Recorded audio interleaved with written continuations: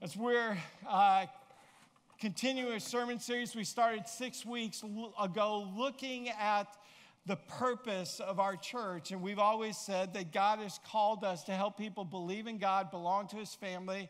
And our, our tagline used to be, and become fully devoted followers of Christ. But we've, we've made some adjustments. You're going to hear more about that next month. But uh, what, we what God's called us to do is to make fully devoted followers of Christ, to help people become fully devoted followers of Christ. We do that by helping people believe in God, belong to his family, becoming uh, disciples of Christ, 5W disciples. And we're going to conclude that part of this series today.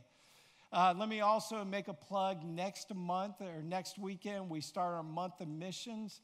Uh, I just believe we will look back on October 2015 and say that was a watershed moment in the life of the church. You won't want to miss uh, any of our weekends in October as we look at what God is calling us to do.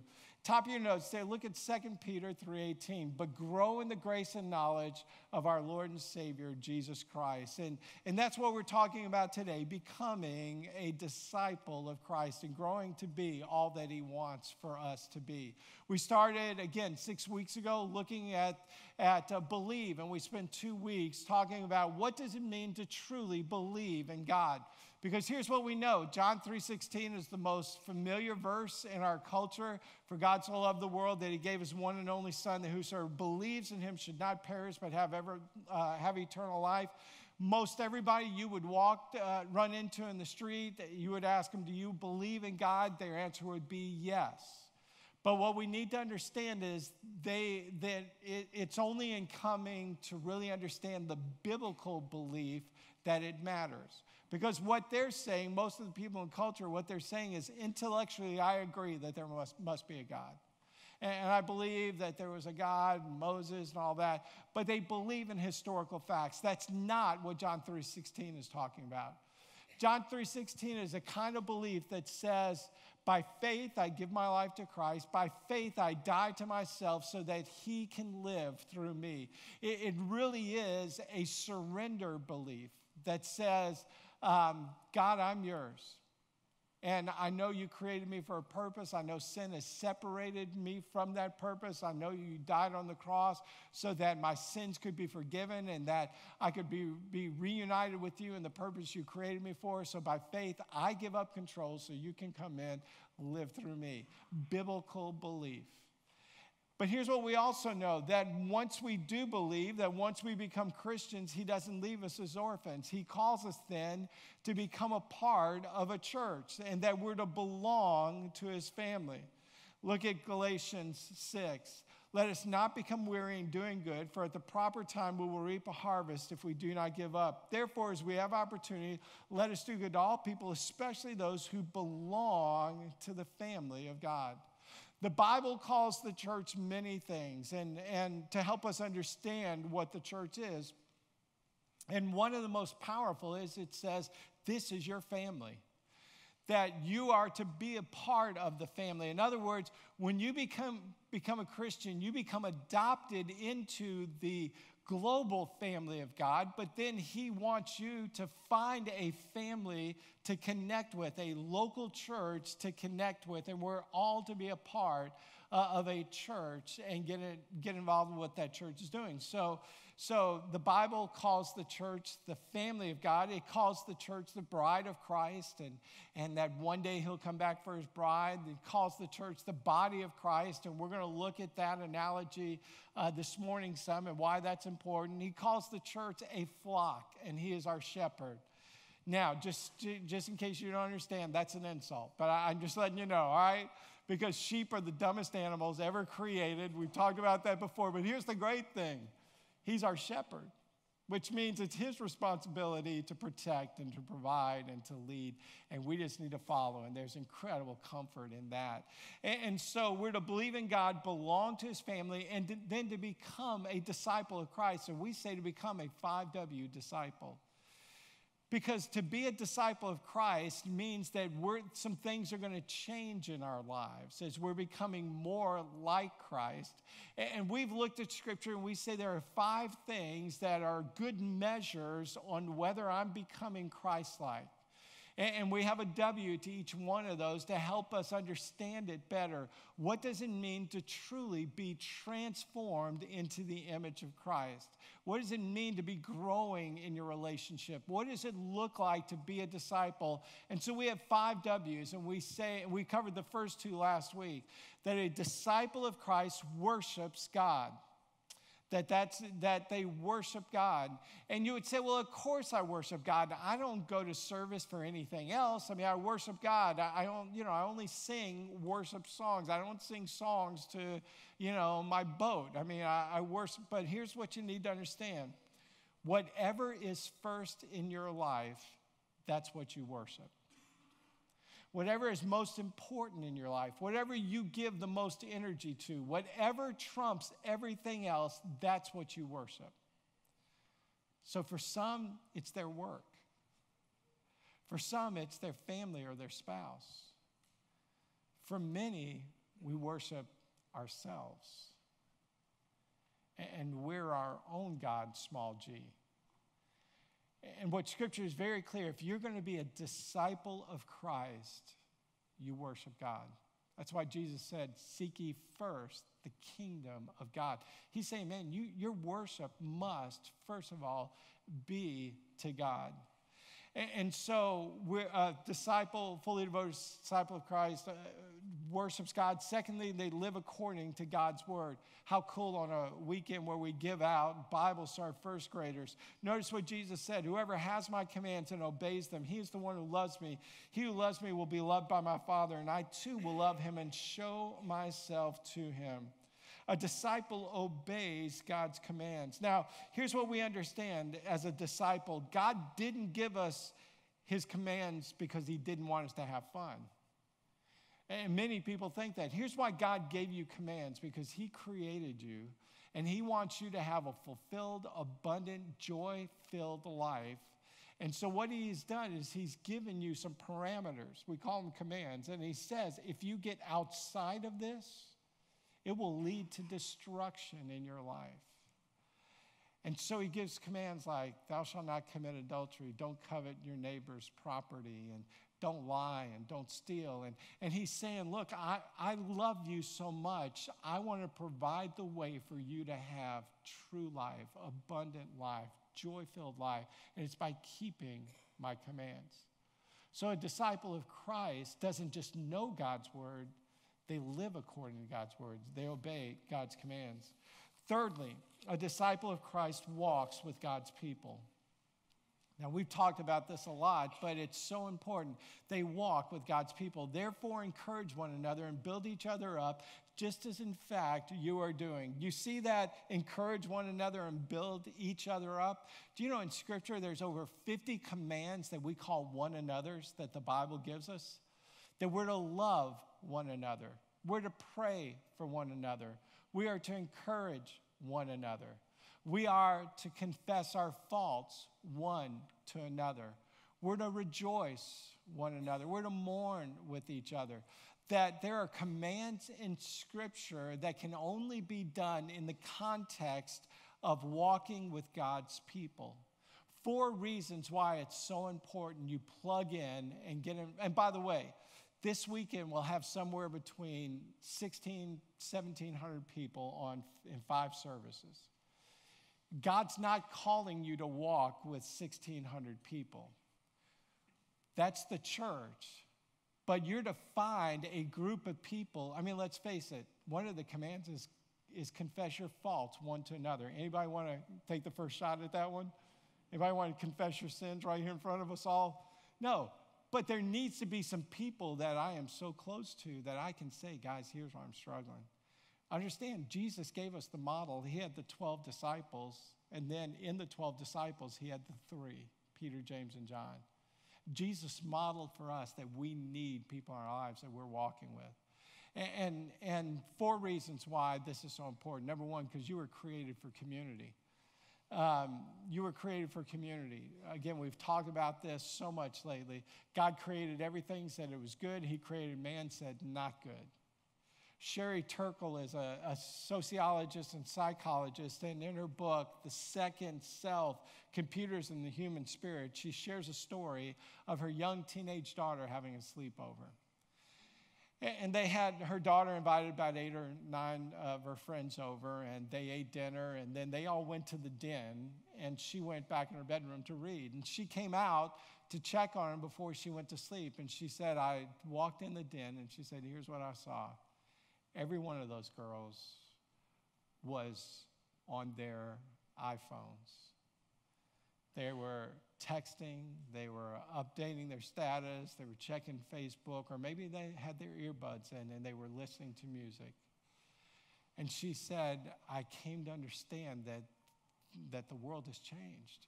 So when I grew up, when we had sleepover, we were doing each other's nails, we were doing each other's hairs, we were talking about boys, and, and we talked about deep stuff in those times. And that we as a culture have lost the ability to truly live in community. And God would say that is not good. And we need to have people in our lives that really know us, that, that we can be ourselves with, and that we can be vulnerable with because we were created for that. You need people in your life that you can share your struggles, your sins, and your victories with. You need people in your life that you can pray with. Secondly, you need people in your life who you're going to be on mission with. That's why he calls you to walk with God's people. From him, the whole body, joined and held together by every supporting ligament, grows and builds itself up in love as each part does its work. None of us can do alone what God has called us to do together. And it's only in community that we can truly live out the greatest impact in our lives. So God says, I'm calling you to community because I've given you stuff to do and you're only going to be able to accomplish your mission in life and your ministry in life uh, in the context of community, walking with God's people. Thirdly, I need people to watch out for me in my life. Let me explain what I mean. Philippians chapter 2, starting in verse 1. Paul speaking says, if you have any encouragement from being united with Christ, any comfort from his love, any fellowship with the Spirit, any tenderness and compassion, then make my joy complete. Now, Paul is really setting them up. And, you know, he's, he asks this question. He says, um, by the way, if there's any encouragement from being united with Christ, now that you're a Christian, do you find, well, let me see, Paul. Before I knew Christ, I was a hell bound sinner. Now I'm a forgiven, uh, heaven bound saint. Yeah, I think I find some encouragement from being united with Christ, right? In other words, he's asking a very silly question. He's asking a question that's already answered itself before he, he even asked it. He might as well have just said, Now, since you have been encouraged, uh, since you have encouragement from being united with Christ, and since you have comfort from his love, and since you have fellowship with the Spirit and in uh, tenderness and compassion, then make my joy complete by being like minded, having the same love, and being one in spirit and purpose. Look at verse 3. Do nothing out of selfish ambition or vain conceit, but in humility consider others better than yourselves. Each of you should look not only to your own interests, but also to the interests of others. I need people to watch out for me in my life, and here's why. Every one of us has blind spots and weak areas. We all have areas where we are vulnerable to sin and discouragement. And so let me ask you this who do you have in your life that's going to help you stay on track spiritually? I'll take it a step further. Who do you have in your life who has permission to push you spiritually, to grow deeper in your faith, to, to be more involved in God's work? Who is there in your life that you've given permission to that they can come and tell you, son, it looks like you're messing up in this area. You really need to think about it. Or they can come up and ask you the tough questions. How's your marriage? You being a good dad? You spend enough time at home? And, and they're the ones who are, why? Because we all have blind spots, guys.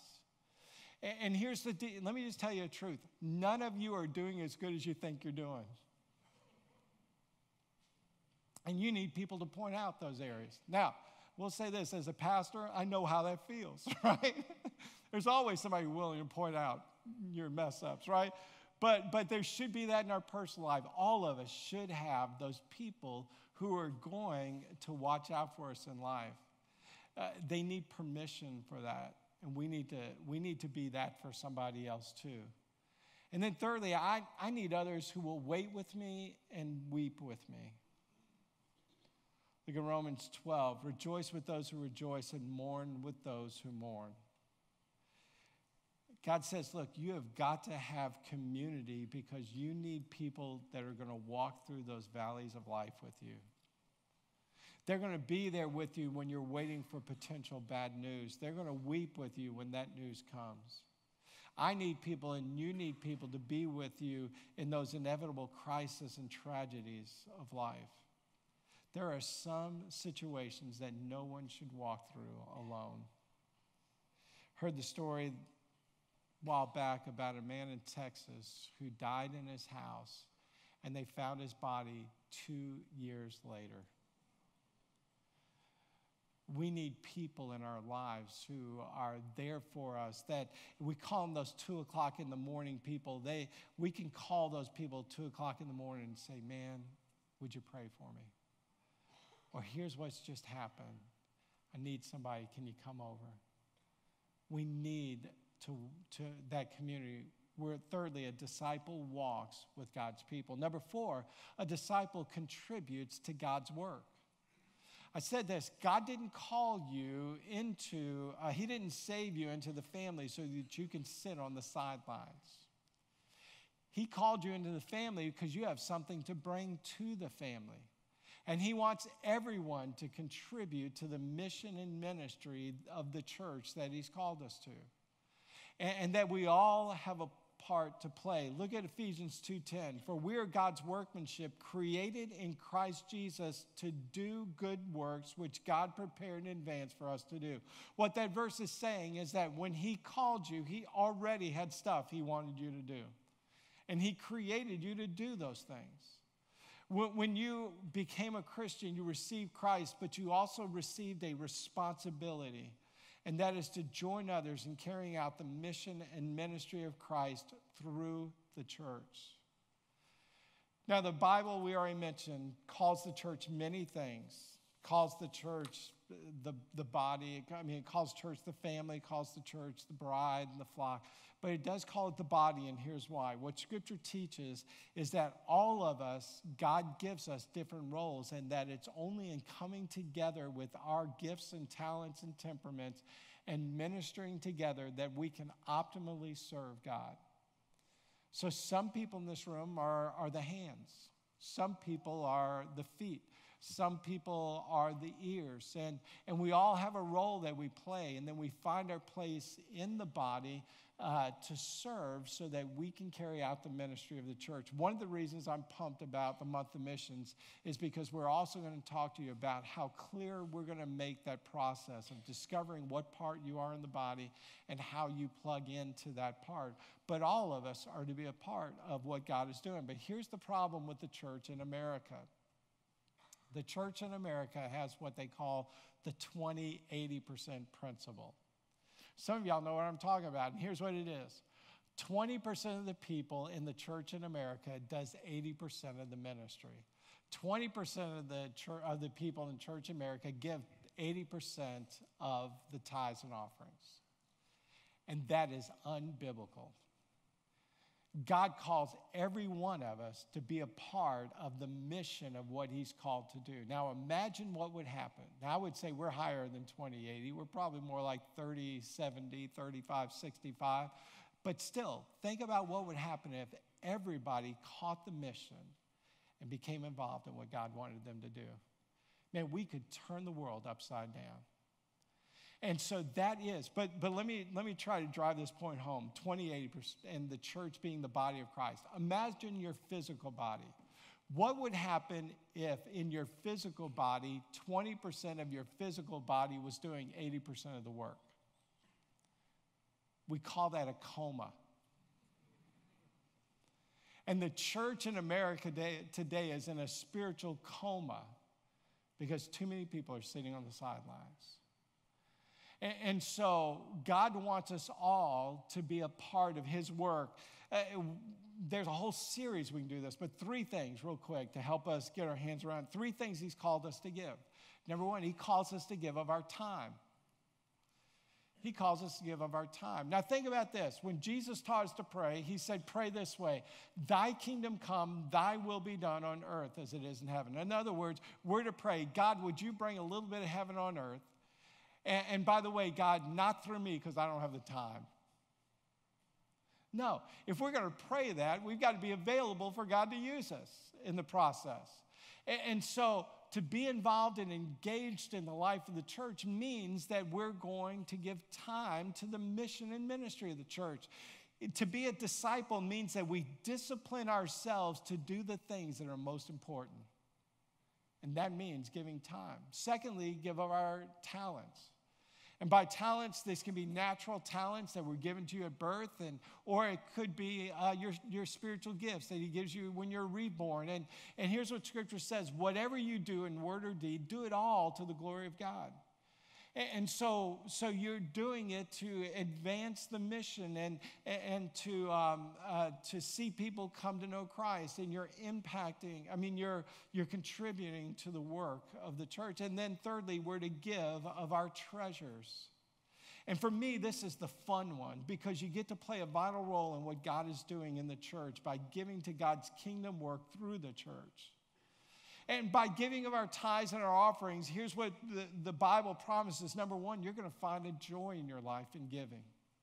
Because giving brings with it so many benefits. Giving is the antidote for materialism. Giving is be, being able to see God bless you financially. Uh, and, and by that, I don't mean the name it, claim it. I just mean that when we're obedient to, to what He's called us to do, He'll bless us in the process. And, and, and then here's what Scripture also says that when you give joyfully, that you're building treasures in heaven. In other words, you're sending uh, an investment ahead. Here's what Jesus said one time. He said, Why do you guys, I'm paraphrasing on this, but you'll know what I'm talking about. Why do you guys spend so much time focusing on the things of this world where, first of all, they're going to rust, moth are going to come in and eat those fancy clothes, or a thief could come in and take it? Why do you spend so much time worrying and putting so much in on that? You're worried so much about something that next year you're going to sell at a garage sale but you got to have it, right? But it's just, it doesn't matter.